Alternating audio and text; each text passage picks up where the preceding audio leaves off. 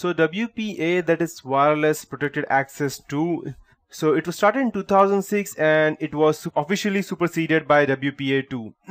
One of the most significant changes between WPA and WPA2 was the mandatory use of AES algorithms and uh, the introduction of CCMP that is counter cipher mode with a block uh, chaining uh, message authentication code protocol. Uh, I believe that's what the full form is. So it was a replacement for TKIP which was still preserved in WPA as a fallback system and for interop interoperability with WPA. So currently the primary uh, security vulnerability uh, to the actual WPA2 system is the obscure one and it requires the attacker to already have access to the secured Wi-Fi network in order to gain access to certain keys and then perpetuate an attack against other devices in the network.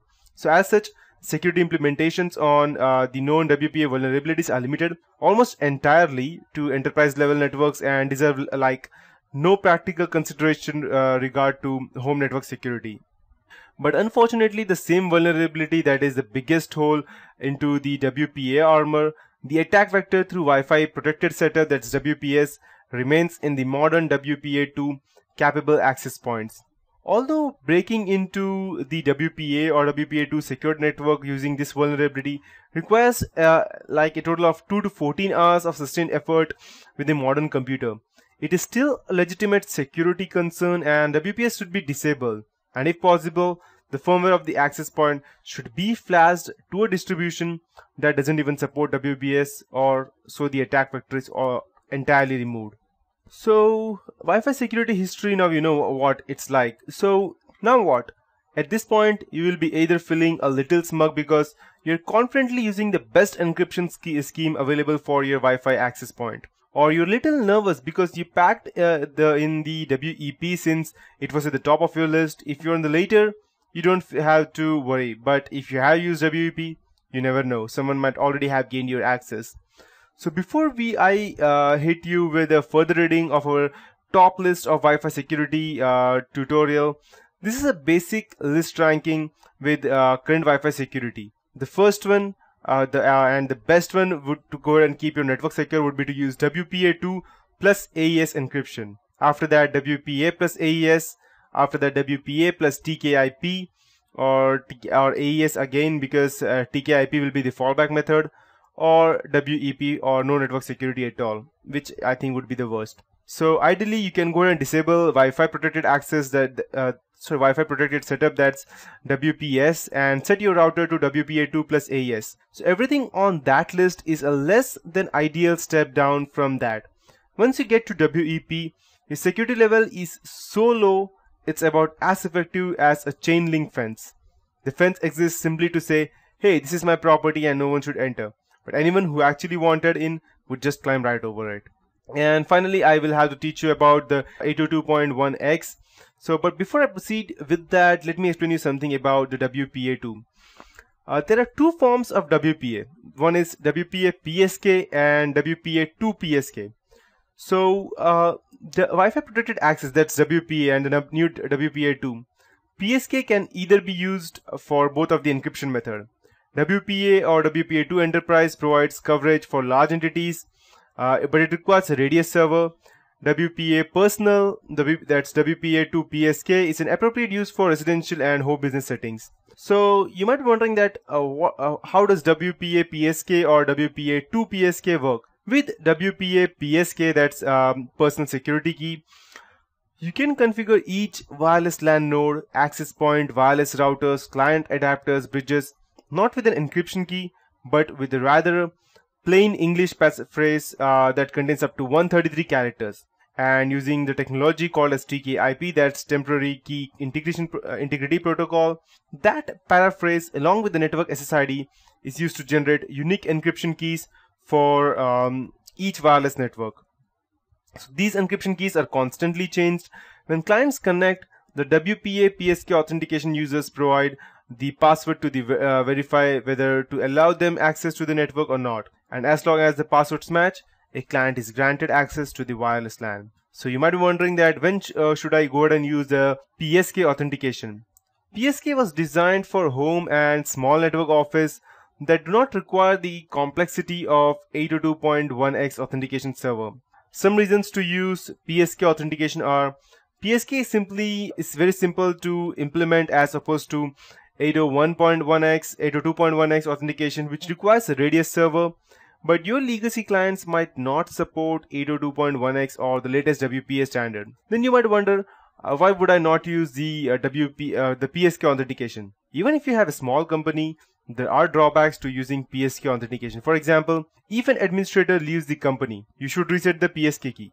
This can become quite tiresome and it will be skipped, obvious, because you, will not go ahead and uh, actually go ahead and uh, uh, uh, change the keys every day because you will be actually get you will actually get fed up uh, one or the later point of time and uh, because you need to go and reconfigure let me give an example uh, you are here to go ahead and learn this tutorial today about wireless hacking. But you might be wondering that okay this is just you can say as powerpoint presentation that i'm teaching you right now and you don't actually have anything to learn like actual hacking. But the thing is in order for you to know how exactly wireless hacking works you need to know what are the encryption and decryption protocols are and how exactly they work. Else, you will be similar to the administrator who just goes ahead and keeps his password as abcd at the rate 123 thinking that he has a total of 8 characters which are different and he may probably keep a as capital and d as capital and he will think that he has a good security because he has capital letters small case letter lowercase letters and different characters and numerics as well but no that is one of the most easiest to crack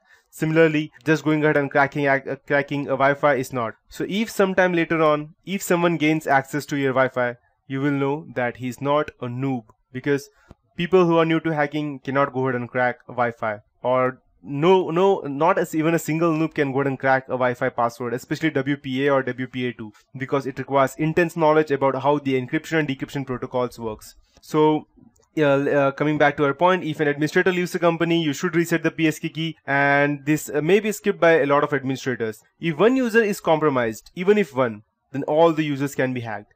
PSK cannot perform machine authentication the way that IEEE 802.1x authentic can authentication them. Keys tend to become old because they are not dynamically created for users upon login, nor are the keys rotated frequently.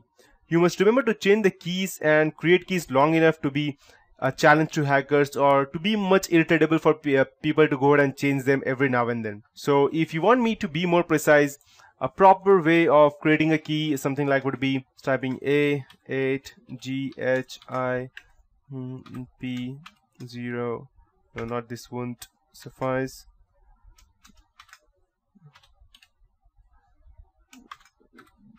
So this doesn't make any sense right? Yes that's why and this should be how your password should look like. Some and any random set of numbers but you should make sure that you don't have any kind of specific word that can make sense. Because if that does then it will make 99% uh, more sense to the computer and it will be able to crack your password.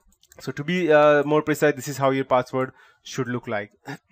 And this uh, not i don't think that this uh, people can go and crack these kinds of password but still there's another way that is called social engineering which you already know. And um, PSK is subject to brute force uh, key space search attacks and to dictionary attacks.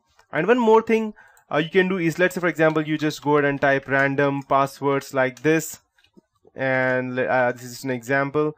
And one more thing instead of just keeping these you can also go ahead and type a space. Yes, space also tends to be a password and uh, normally people go ahead and keep the space at the start or at the in between but no one actually go, goes ahead and thinks of space in the end. You can have multiple spaces in the end and you can type something like not ASD because it's quite uh, easy to understand so this. And if you have this password in WPA2 I can guarantee you with anything that no one will be able to crack except until it is social engineering. Even I think you won't be able to uh, remember this password yourself no matter how much times you and actually try to remember them just a quote. So WPA2 uh, PSK uses a more advanced encryption type. Additional processing power is required to keep the network functioning at full speed. And wireless networks that use legacy hardware for access point and routers can suffer speed reductions when using WPA2 personal instead of WPA2 instead of WPA. Sorry. And especially when several users are connected or large amount of data is moving through the network. Because WPA2 personal or PSK is a new standard, firmware upgrades can also be required for some hardware. Uh, normally you won't be requiring that, but still uh, it is much better than WPA exclusively. How is uh, WPA encryption different from WPA PSK you might be wondering? The primary difference between WPA and WPA2 PSK are the encryption ciphers used to secure the network. WPA can use only the encryption cipher that's TKIP whereas WPA2 PSK can use TKIP but because TKIP security keys are, are less secure WPA2 uh, protocol usually uses the AES encryption method and AES uses a much more advanced encryption algorithm that cannot be defeated by tools that overcome the TKIP security and making it a much more secure encryption method.